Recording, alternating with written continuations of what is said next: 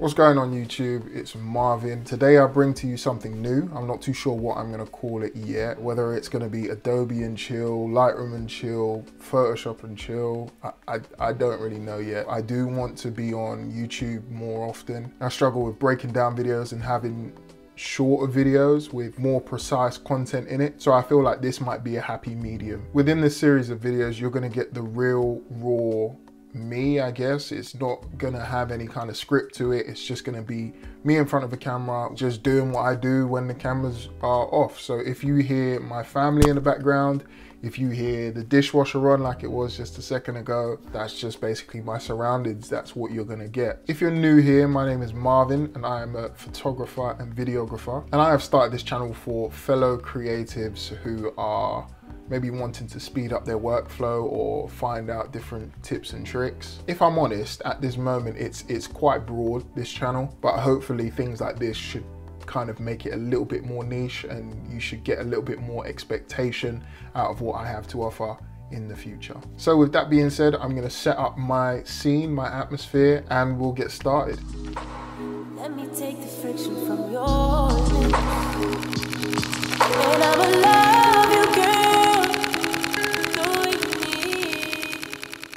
Camera two check, bit of color, feel like. Alexa, turn on lamp two.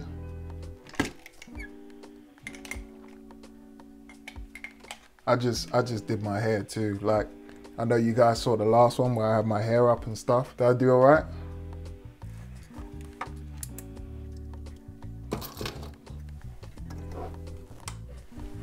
Can't really see the Lightroom and chill, but yeah, you get the point. Season one, episode one. The good thing with the photos that I've selected for today, they are very old. This is literally when I first got my A6400 and the first lens that I bought was a 50mm 1.8, better known as the, the Nifty 50. I kept five RAWs which is good. Develop tab will take us from start to finish with these photos. So first and foremost, I don't think I'm going to work with this image. So my normal selection process will consist of a one star to maybe throw away.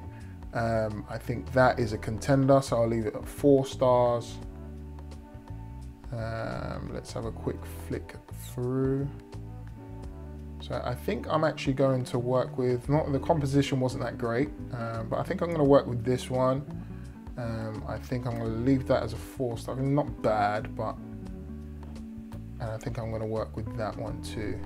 I tell a lie. I might change that one to a four star and this one to a five star. So today I would see us working primarily on the two five star images.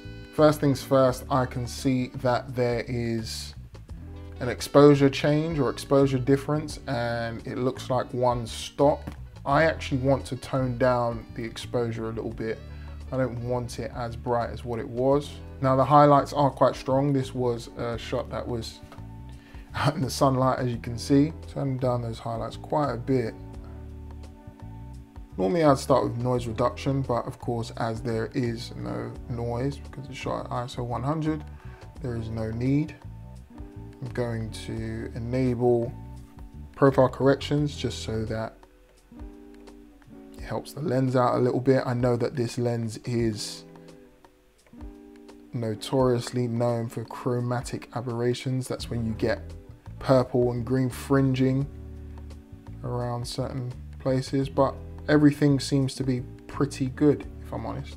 So my next stop is the tone curve. And I mean, it will change, it will change for every photo. I'm going to kind of have a, a little bit of a washed out look on the blacks. Create a little bit of a, what they call an S curve. Only a tiny one, if I'm honest. I don't really want to blow out those highlights. It might not even be an S curve right now. And I'm just gonna potentially mute the whites a tiny bit. What I mean by that is there's no direct black point and there's no direct white point either. So once I get back to the normal sliders, what I'm going to do is I'm gonna dip the highlights down even more just so there's less of a hot spot on her face. I'm just gonna darken the shadows a tiny bit. I think that's about right. I, I like quite a contrasty image. Um, so having something with higher whites in, in tolerance, of course, and darker shadows as well um, is, is quite nice. I like the tones of the photo currently. I think they, they match perfectly. I think they're fine. So I'm gonna leave them exactly where they are. Generally speaking, I drop the clarity and up the texture.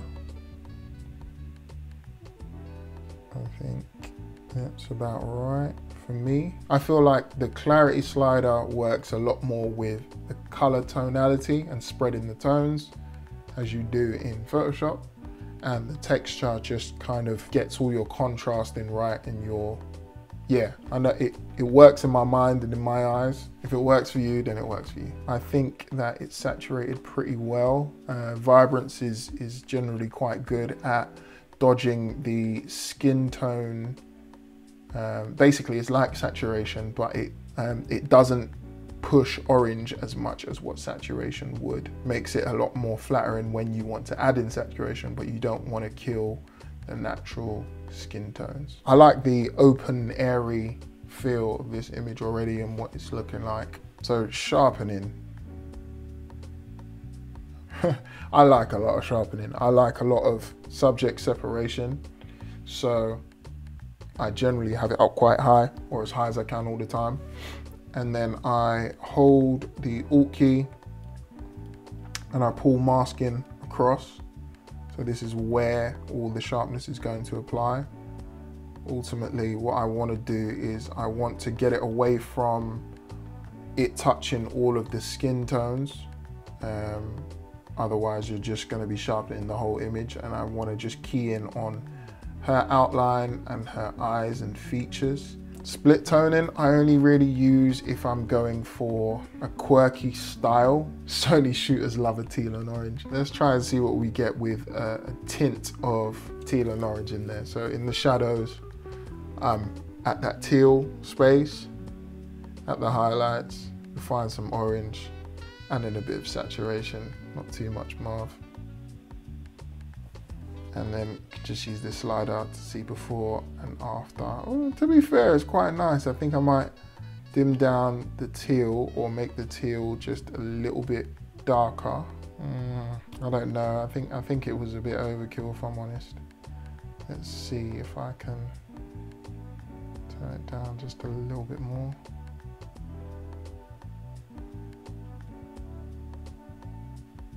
All right, we'll leave it. We'll leave it where it is. We'll go with it. Why not? With the calibration, I tend not to touch unless I feel like there is a color or set of colors that just don't match up to how I saw that image and how I want that image to be. Otherwise, I would just kind of leave leave my calibration where it is.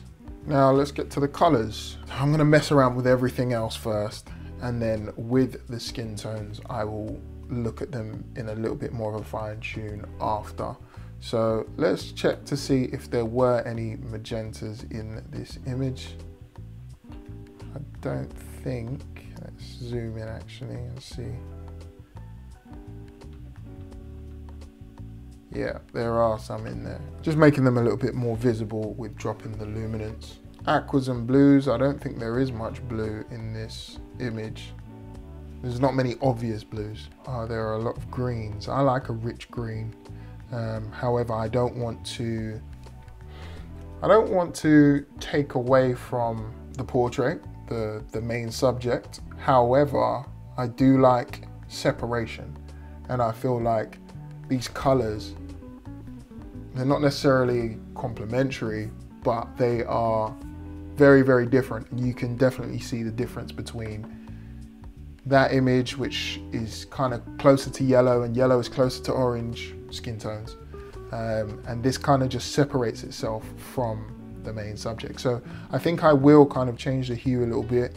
The saturation is where I feel like it might be getting a bit more distracting and stealing the show. So I'm gonna dip that saturation down.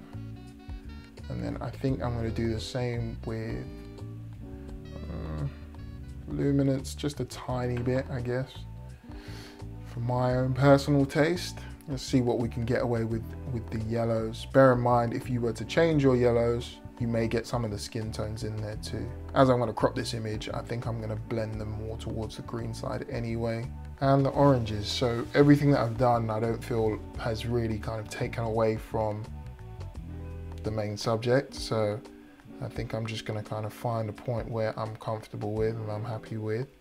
Tiny bit more saturation for the oranges and a little bit of luminance to show off the bright day. So I'm going to clear up some minor, minor imperfections. So these are just small raises in the skin. So not going too far with the photo and taking things out. I'm only taking things out that would change on a day-to-day -day basis. If there are ever marks on the subject's skin that are permanent and kind of don't go away, then generally I would stay away from them that is a part of that person, that is a part of their, their natural beauty.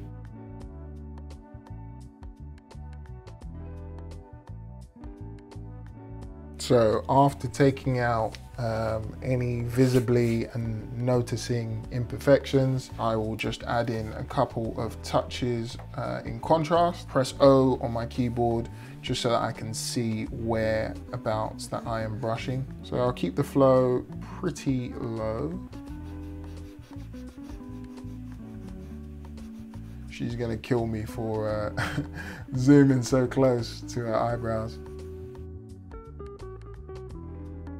On this mask, um, if you kind of go too far, then you can just kind of hold Alt and you can basically take away from where you've gone too far. I've got it on a auto mask, as you can see just down here. It generally seems to work pretty well and it doesn't kind of overspill. Uh, however, at times it does. So then you can just kind of press Alt, go back, and then go from there. I'm just kind of going over here roughly over all of the darker spots of the face. So eyebrows, just around the edges of hair, just to create separation. I, I knew that was gonna happen to be fair. Still scared the shit out of me. So after I'm done with that, I can then go to my slider and just basically mess around. Yeah, I want, I want some pretty big shadow increases. Our eyes are quite dark, so what I might do is just grab onto a new mask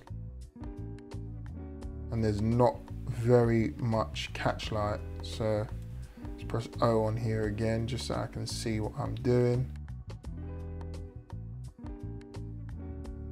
From that point, I actually want to increase my shadows. The first thing I want to do is increase the whites. Any whites in there will basically add to the catch light that is already there. Upping that contrast just a little bit will once again create that separation and slightly changing the exposure should just have a tiny bit more of a pop. I think the white is doing most of it. She's got deep brown eyes, so yeah, that's that's all that we're gonna kind of get from there. I think the last touch for this photo before I move on to the next will just be a quick mask for her lips. From a wider view, she just looks like Joker. There goes them. Let's come back out. Let's up the contrast.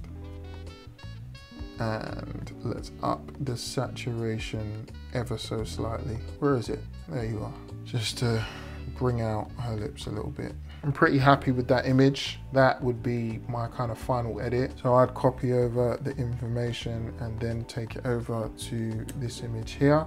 It's not taking over all the information, so let me try and copy it, copy it over. So what I don't want is the spot removal. We haven't cropped it yet. I'm gonna take out the brush and that's pretty much everything. So what I might do is just look at the tones and try and match it the best way that I know how. So what I'm actually gonna do is drop that exposure back down again. Even the greens aren't the same. What is going on? I'm going to raise the shadows of this image. And I think that will drop that exposure down a tiny bit more. I think that kind of matches a bit better. Even the skin tones are a little bit out.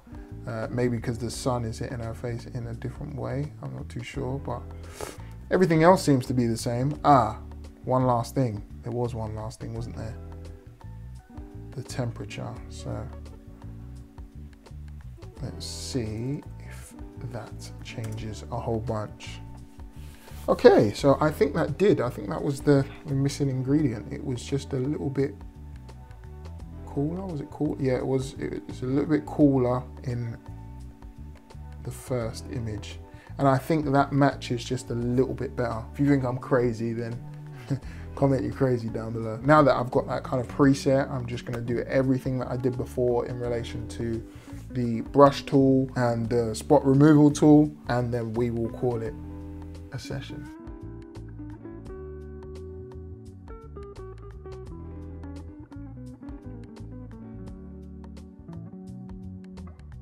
Yeah, I'm pretty pretty happy with these images now.